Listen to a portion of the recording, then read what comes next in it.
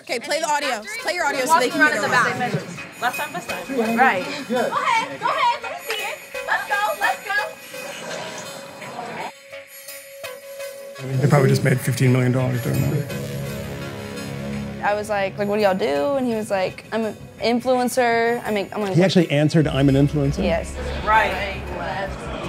I said, how do you make money? I've never understood it. He was like, you know how there's like Beyonce and Jay-Z, famous people for music? He's like, well, we're famous for social media.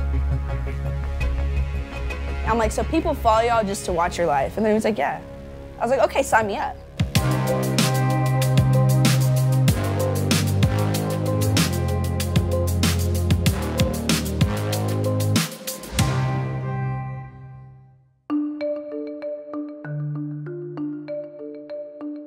So we're in West Hollywood going to a TikTok house called The Vault, in which uh, six people produce content of some sort for 1.5 million followers.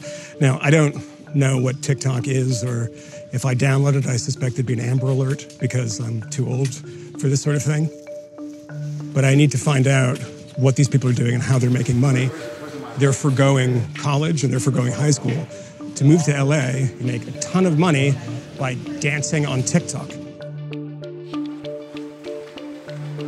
It was just before noon when I arrived at Vault House, That is good.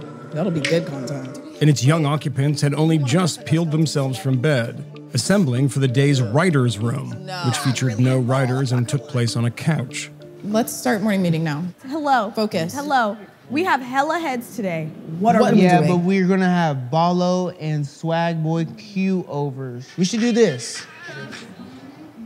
I think Kira should do a kiss or slap. I'm not doing that. They are sick of me kissing people. No, they're It's not. They ask for it every time. Kieran Trey kissing. One can be don't bring a girl home or a boy Okay. home. Oh, yes, yes. And then one can be don't lose the group. Can you write these down because you're gonna forget and then I'm gonna be very upset. Escalating, girl. I don't have any idea what's happening.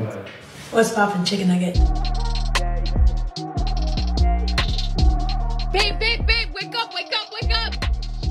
I didn't want to go to the party to party. I wanted to go to the party to scare bitches. For the past few years, TikTok has been the fastest growing social media platform in the world. It currently boasts around a billion active users.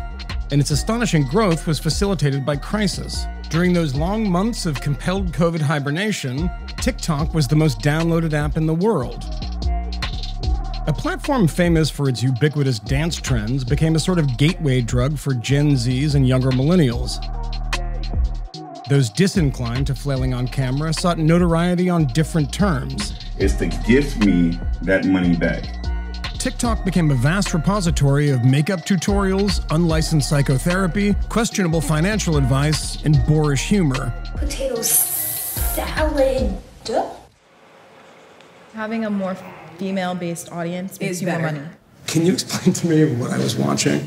TikTok is all run by like our age range. Who's the youngest person? How old are you? Can I ask? 18. You're 18. Oh, so that's the youngest. None of you are from LA, is that right? How do you get here? uh, an old member that used to live here invited me just Yeah. to come like stay and hang out. And that's somebody you knew through TikTok. Right, right. Somebody on TikTok. They offered to trial me, like to see if I would be a fit for the house. I mean, does everybody remember that first time that somebody was like, I want to pay you for the shit that you do? I thought people were just doing videos for fun and Yeah. just go like viral. I had people asking to duet, me to duet their videos, and they'll pay me. And I'm like, like two hundred and fifty dollars, and I was working. What were you doing at the time? I was working at uh, FedEx. Slightly better than working at FedEx, isn't it? Oh, way better. So on your own TikTok account before you came here, like how many followers did you have? Uh, before I came out here, I had like 700,000. Well, now I have 1.3 mil. But you guys all have your own individual accounts still? And are you posting to those too? Yes. We just have to figure out how to keep everyone in their content. Everyone's niche is completely different. What's your niche? I just stand in front of the camera and I just blink. I really do. You're good at standing in front of Yeah, pretty Yeah. much. Sometimes they like me to stand in front of the camera with Spence, or sometimes they request I stand in front of the camera with my leg. And so if I, they want that, I'm like, okay, well here's us, Who's they? the people watching. Who has the biggest following? How big is your following? Right now, I have 4.1 mil. I'm sorry, what that? 4.1. You know that's the size of Ireland. It's about 4 million, the population of Ireland.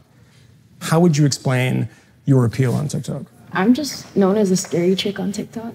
She's actually talented. Let's rip this bitch off. The most successful video I have right now is like at 68 point million views right now. I'm sorry, 68 million views? Yeah. Yeah, I'm sorry, what is it? it's just me like transforming, like turning into like a monster. Must crush them. How is that monetized, the 68 million? Even if it's fractions of a penny, that's a I'm, ton of money. I actually didn't get paid for that video. I didn't get paid for that video. Can you leave the number of your manager here so I can fire them for you? How do you make money? A lot of promo. A lot of promo. wait, wait, so you're not promoting your own stuff, you're promoting. no, that's like- all. Yeah. People's songs. People's songs, products. I have this one like inexclusive manager who um, gives me sound promos like songs. So like he's probably my biggest like income. Is that C taken? That's my lap. And as a manager, they take a cut and they take like 15%? 50, I feel like. 50? Yeah. Really? Agencies will sucker these kids that come from Nebraska or Ohio or Wait, like isn't someone here from Nebraska? him. That's why I said it. So there's Yeah, like a yeah, yeah. lot of exploitation in this world, right? Because most of the people are pretty young Yeah. and don't have a ton of experience. It's like a pretty fertile ground for ripping people off. Right. But you guys make pretty good money, right? Mm.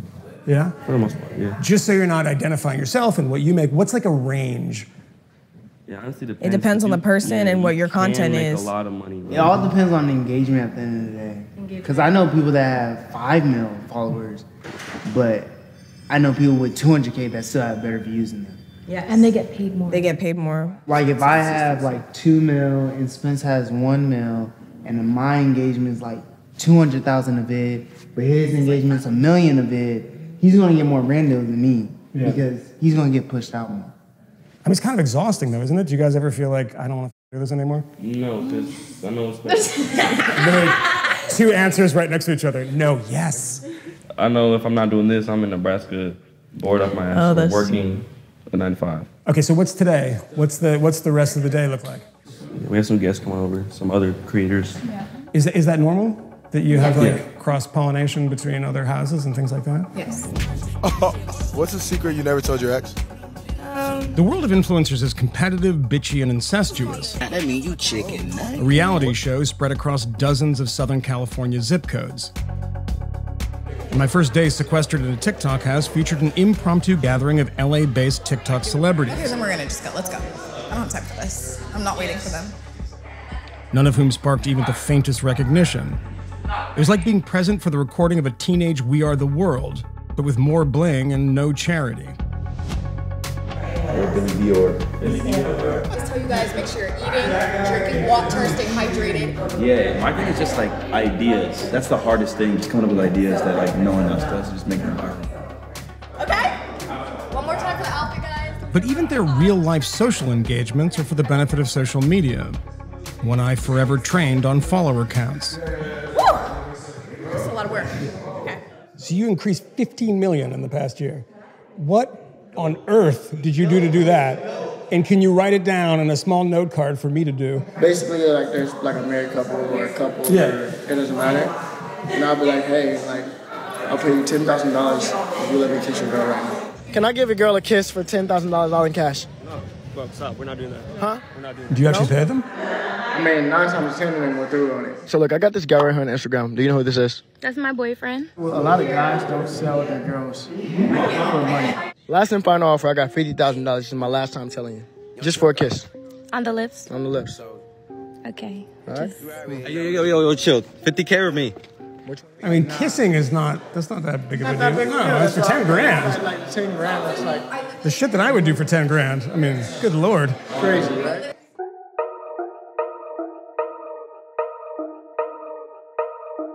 Whether your talent is paying women to make out with you or just being moderately attractive on camera, the influencer is always thinking about posting. Once you build a following, the key to retaining it is a steady stream of content. Yes, the dog has to be in it. Okay, no one even In our short attention span age, and on a short attention span app, a lull in production and you'll quickly be overtaken and forgotten.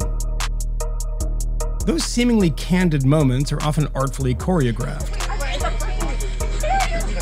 And countless takes are performed in order to get the videos just right. Hey, one more time. Much of what they film never makes it to their feed, but the feed must be constantly fed. All right, take 10. The life of the influencer might look like one big vacation, but I'm repeatedly told, successful TikTok personalities take no time off. And vacations are only possible if sponsored by a brand. All right, let's rock and roll. Go ahead, Spencer. Spin, spin, spin. It's only eight seconds, Poppy. Get it. We want to get the logo in the shot first. Nichelle Vanius is the brains behind Voltes. It's Vanius who recruits the talent, signs them to her TikTok agency, and moves them into one of her half dozen TikTok houses. Good job. That looks good. How did you land on the TikTok influencer beat? So I was a little familiar having come doing social media, web development. My daughter started uh, YouTube at like 13. I recognized very quickly that this was just basically celebrity endorsements, Yeah. but on a different level. And I saw how much money it was. We decided to focus on Gen Z. We had already been doing brand campaigns on TikTok since 2018, way before anyone was even paying attention to that platform. And then COVID hit. We were able to double the agency during COVID in 2020. I mean, you're much more captive audience in those times. I mean, literally captive in a lot of. They were growing fast. You know, it was still cheaper than Yeah. Instagram and YouTube. And we started a content house in April. Everybody can post, but no one has four walls to do traditional product placement like we do. So you might have a roster of influencers, but I got influencers in a house. Mm-hmm. You just sounded like a prison warden. I've got them on. You have them captured in this one house. It was COVID. You Yeah, can't go no. anywhere.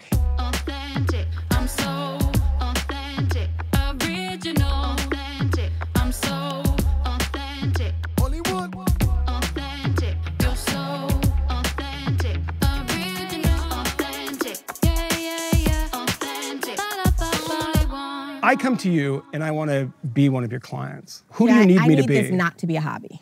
okay. I need this to be your priority. And because we invest in the younger generation, because we know how 10 times their revenue will income will be generated when they start getting married and start having kids, then they can work with the Home Depots and the Targets, which is where the real money is. If I can maintain your production, our investment in the Gen Z is going to pay full 10 times when they become adults. We want influencers who want to be great Yeah. not just influencers who want a number, right? You pay them well? They get paid well.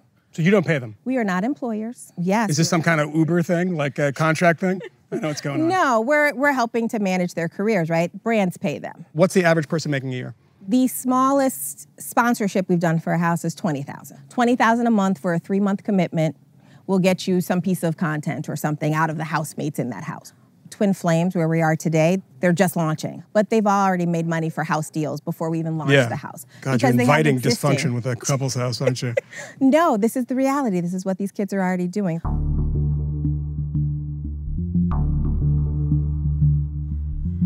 this house, Twin Flames, is for couples. Babe. You can imagine, in an era of ubiquitous reality television, why such an arrangement would appeal to Nichelle. Josh and Star just moved into Twin Flames. What do you mean? Yeah, that's awful, bro. So you're a TikTok couple. Yeah. How many followers do you have? I have like 10.4 million. Why? How did? Why you guys over? He taught me how to like make a video blow up, and we kind of just learned the Because she was never of how to familiar with TikTok. She wasn't even on the platform. Well, I always wanted to blow up anyway, so I probably would have figured it out. But I probably wouldn't have been at 10 mil right now. Do you make any money from that? A lot of money comes from brand deals. For me, like social media is maybe 20% of what I do. Like I also do website businesses, e-commerce. I do real estate. You couldn't do that without the money from social media, right? Oh yeah, social media is literally what provided all of that for me. So it was essentially for you, it was like seed capital started a company, right? Yes. I think social media helped me get signed to a management and get my music career like started. Why did you choose to move into this house? When we like first were dating, um, I had a place in Glendale, and that place cost like four thousand a month. So I'm like, you know what? Instead of like paying four thousand a month, I'd rather come here, keep Save sa- yeah, 50 grand save- for a year. Yeah, yeah, yeah, yeah. exactly. And and do you know the other people that have, have moved into the house, or there are Yeah. people moving in, right? Yeah. Not everyone's moved in. Yeah, we have a new couple moving in, Danny and Lynn, because our other couple left. And they were no good? The guy was just like awful. What is it like living in a house that's not only with just two other couples, but under the microscope all the time, always having to perform? I love it. You love it. I love it. I want Yeah. You want more people like wanting to know about your life. hmm I want I want to see them just like flood the DMs. So that's you want fame. Yeah. I think it's refreshing that you admit it. Yeah. Well, I'm not gonna lie. What is it about fame that makes you want it so badly? I think it's like making money, just being yourself in a way. I don't like working. Like to be honest, I don't like working like hard, like hard working stuff. I'm gonna be honest. I like entertaining. I like Mhm. singing. I like dancing in front of the camera. Just be myself to an extent, even though you kind of have to fake it. I'm a Christian guy. Like I love God because like He's allowed this all to happen for me, and I'll talk about all these different opportunities and try to get people into any opportunity that's available. What happens if it disappears? What do you do? Probably devote my life to cats. To cats? I really thought you were going to say God, but you said cats. I got you. Yeah. Predictably, teenagers having fun and making money provoke the usual moral panic, with breathless headlines about the app precipitating a mental health crisis among teens. Pundits and politicians called for regulation. Listen, I mean, TikTok is a platform that is basically a Trojan horse for the Chinese government. The Trump administration, throwing constitutional concerns to the wind, threatened to ban the app. We are looking at a lot of alternatives with respect to TikTok. And for the tens of thousands of newly minted TikTok professionals who monetize skill sets that most people didn't even know were considered skill sets, the moral panic became an existential panic. There was this funny moment. It didn't look like it was actually going to happen where Donald Trump's like, I'm going to ban TikTok. Mhm, Yeah, I remember that. Like, pretend that happened. Mhm. What would you do? Well, personally, I want to get into real estate and I want to start a few of my own businesses. So this was never like my main focus. But for some people, it's for some people, it- I, I'm like- concerned for them. I'm honestly concerned for those Really? that group. Molly's Park Sleep. Oh, okay. Because of the age group, it allows them to be like really immature. You know, there's no parents. Everyone's just kind of like living like adults, but like no one's actually an adult. There's never a moment where you're like, what the f- am I doing? Do you ever do that? Um, I don't think I have the time to do that. I just have to deal with it. But you make money.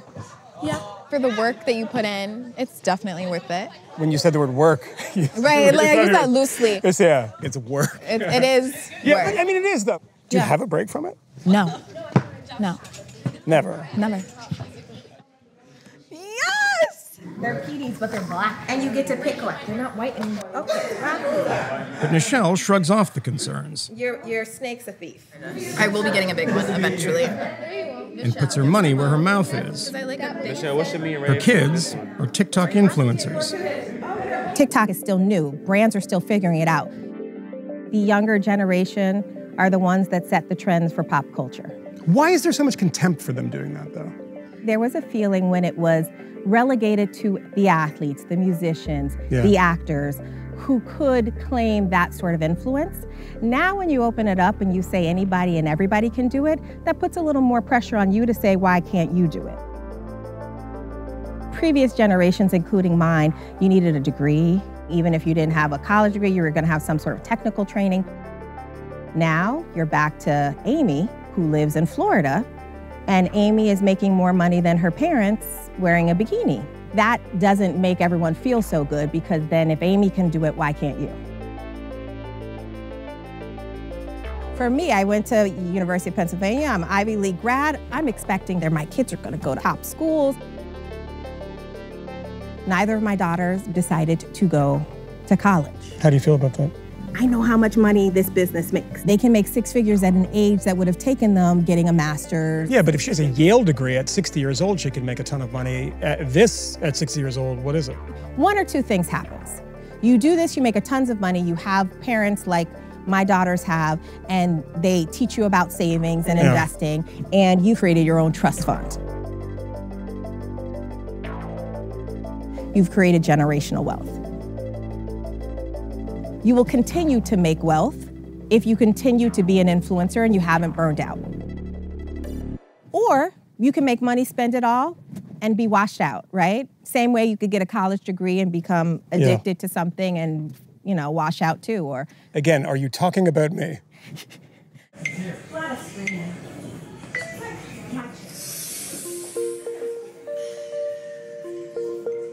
This alien world, with its often incomprehensible rituals and nomenclature, exists to excite the neurons of teens and ultimately separate them from their parents' hard earned money. But besides the rapid and often vapid content, it's pretty traditional. Attractive people with varying degrees of talent are lured to LA with dreams of fame.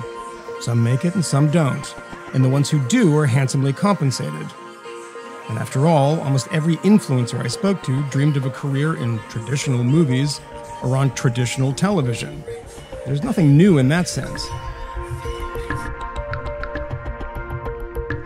But there's one noticeable paradigm shifting difference. Gatekeepers still exist, but there are fewer. No one approves scripts, no executives offer notes, no morons in suits demand moronic rewrites. And while perhaps some of this stuff could use an editor's pen, the content is perishable. It's quickly filmed and soon forgotten. The content doesn't exist to fill some artistic need, with financial compensation a flattering bonus. The content exists almost exclusively to lure the money, to achieve the fame, for everyone to get paid. TikTok has made celebrity more democratic, but it also seems more aggressively commercial. Selling out is no longer an insult, it's the goal. If the content creators create pointless content, the only thing left is the personality, the influencer, the transitory fame of a human billboard. What are you paying me? What are you paying me? Quick, quick, quick. Ten thousand dollars. Ten thousand dollars. For you to kiss it on the mouth. Give me your But first, get it away from me. You kiss him first. Nah, that's might be. You owe me ten million. Ten thou- See, this is really how influencers make money on aimless bets. Ten thousand dollars made. Thanks, mom. Giant snake climbing on my body right now. Disgusting. Give him a kiss. No. Quick, give me. Get away from me. Get away from me.